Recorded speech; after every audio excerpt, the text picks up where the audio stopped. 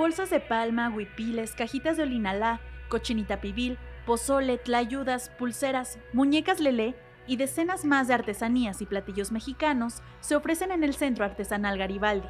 Un espacio que anteriormente fungió como centro nocturno se convirtió en un edificio con 110 locales que albergarán artesanos de pueblos originarios para ofertar sus productos desde un lugar fijo y no en el ambulantaje como se realizó por décadas. Ubicado en la calle República de Honduras número 6, en la Plaza Garibaldi del Centro Histórico, es un edificio de dos pisos y una terraza que serán ocupados cada tres meses por artesanos de distintas asociaciones.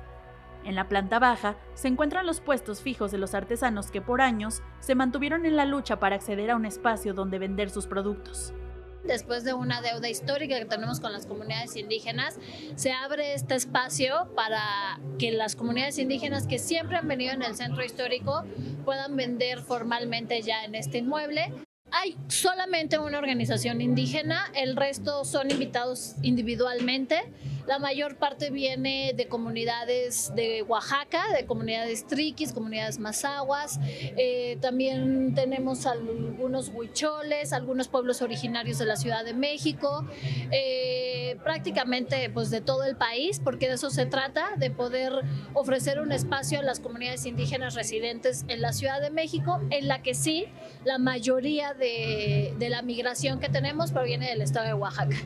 Este espacio está abierto a todo el público los 7 días de la semana, de 10 de la mañana a 10 de la noche.